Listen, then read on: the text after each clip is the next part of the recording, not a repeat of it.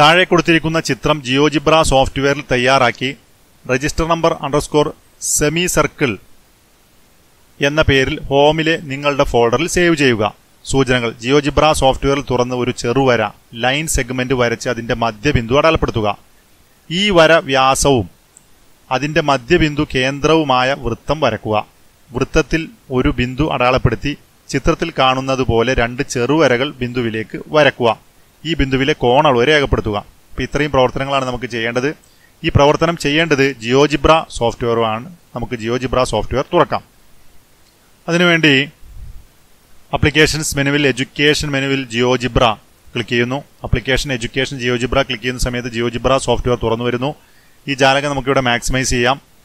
അതുപോലെ ഈ പ്രതലത്തിൽ മൗസ് റൈറ്റ് ക്ലിക്ക് ചെയ്ത് കഴിഞ്ഞാൽ തുറന്നു വരുന്ന മെനുവിൽ നിന്ന് ആക്സിസ് അതുപോലെ ഗ്രിഡ് എന്നിവ ക്ലിക്ക് ചെയ്യുന്ന സമയത്ത് ആക്സിസും ഗ്രിഡും നമുക്കവിടെ അപ്രത്യക്ഷമാവും. അതുപോലെ ഈ ആൽജിബ്ര വിൻഡോയിൽ നമുക്ക് വേണമെങ്കിൽ ഇവിടെ ക്ലോസ് ചെയ്യാം. ഇനി നമുക്ക് ജിയോജിബ്ര സോഫ്റ്റ്വെയർ തുറന്ന് ഒരു ചെറുവര ലൈൻ സെഗ്മെന്റ് വരക്കണം.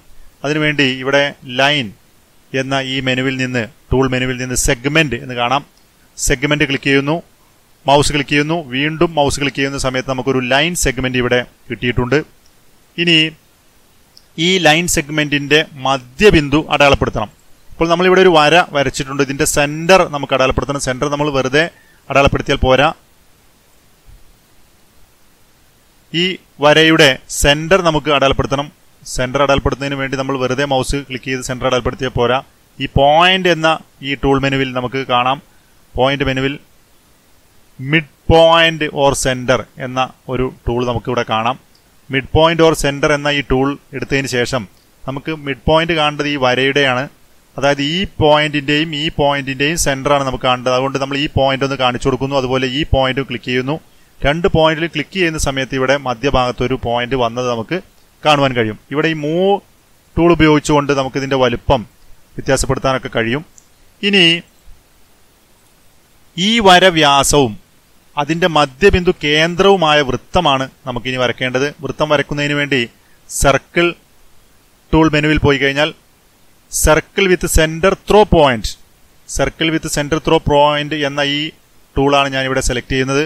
സെലക്ട് ചെയ്തതിന് ശേഷം ഈ സെന്ററിൽ ഒന്ന് ക്ലിക്ക് ചെയ്യുന്നു. സെന്ററിൽ ക്ലിക്ക് ചെയ്ത് നമ്മൾ മൗസ് നീക്കുന്ന സമയത്ത് വൃത്തം വരുന്നുണ്ട്. അതിന് ശേഷം ഈ പോയിന്റിലും ഒന്ന് ക്ലിക്ക് ചെയ്യുന്നു. അതോടുകൂടി നമുക്കൊരു സർക്കിൾ കിട്ടിയിട്ടുണ്ട്. ഇനി വൃത്തത്തിൽ ഒരു ബിന്ദു അടയാളപ്പെടുത്തി ഇവിടെ വൃത്തത്തിൽ ഒരു ബിന്ദു അടയാളപ്പെടുത്തിയിട്ടുണ്ട്. ചിത്രത്തിൽ കാണുന്നത് പോലെ രണ്ട് വരകൾ അതിനേക്ക് വരച്ച് ചേർക്കേണ്ടതുണ്ട്.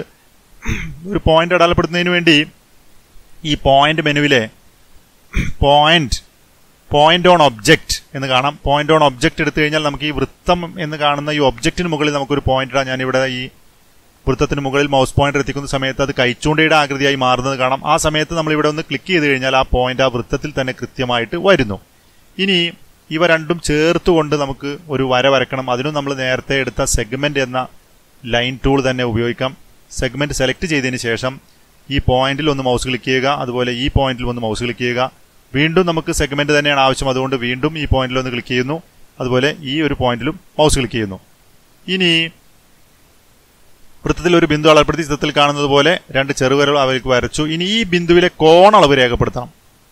അപ്പോൾ ഈ ബിന്ദുവിലെ കോണളവ് രേഖപ്പെടുത്തുന്നതിന് വേണ്ടി ആംഗിൾ ടൂളാണ് ഉപയോഗിക്കേണ്ടത്. ഇവിടെ ആംഗിൾ ടൂൾ ഞാൻ സെലക്ട് ചെയ്യുന്നു. ആംഗിൾ ടൂൾ സെലക്ട് ചെയ്തതിന് ശേഷം ഇവിടെ ഈ ഈ ആംഗിളാണ് കാണേണ്ടത്. അതുകൊണ്ട് നമുക്ക് ഈ മൂന്ന് പോയിന്റുകളാണ് ഇവിടെ രേഖപ്പെടുത്താനുള്ളത്. ഈ മൂന്ന് പോയിന്റുകൾ രേഖപ്പെടുത്തുന്നതിന് വേണ്ടി ആദ്യം നമ്മൾ ഈ പോയിന്റിൽ മൗസ് ക്ലിക്ക് ചെയ്യുന്നു. അതിനുശേഷം ഈ പോയിന്റിൽ മൗസ് ക്ലിക്ക് ചെയ്യുന്നു. അതിനുശേഷം ഈ പോയിന്റിൽ മൗസ് ക്ലിക്ക് ചെയ്യുന്നു. അതിനുശേഷം ഇവിടെ തൊണ്ണൂറ് ഡിഗ്രി വന്നിട്ടുണ്ട്. നമുക്ക് ഈ മൂ ടൂൾ ഉപയോഗിച്ചുകൊണ്ട് ഈ തൊണ്ണൂറ് ഡിഗ്രി എന്ന് എഴുതിയതിന് നമുക്ക് നേരെ താഴത്തേക്ക് വെക്കാം. ഇവിടെ ഒരു അർദ്ധവൃത്തം അർദ്ധവൃത്തത്തിലാണ് ഈ ഒരു ത്രികോണം വരച്ചിട്ടുള്ള അർദ്ധവൃത്തത്തിലുള്ള ത്രികോണം മട്ട ത്രികോണമായിരിക്കും അതുകൊണ്ട് ഈ കോണ് അളവ് തൊണ്ണൂറ് ഡിഗ്രിയും ആയിരിക്കും. ഇനി ഏറ്റവും ആദ്യം നൽകിയിട്ടുണ്ട് ഈ പ്രവർത്തനം ചെയ്തതിന് ശേഷം register number underscore semi circle semi circle എന്ന് പറഞ്ഞാൽ അർദ്ധവൃത്തം. സെമി സർക്കിൾ എന്ന പേരിൽ നിങ്ങളുടെ ഫോൾഡറിൽ ഇത് സേവ് ചെയ്യാൻ ആവശ്യപ്പെട്ടിട്ടുണ്ട്. അതുകൊണ്ട് ഫയൽ മെനുവിൽ സേവ് ക്ലിക്ക് ചെയ്യുന്നു. നിങ്ങളുടെ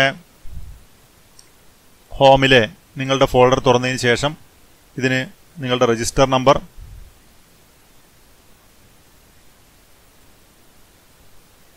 underscore semi register number underscore semi circle എന്ന പേര് നൽകി സേവ് ചെയ്യുന്നു.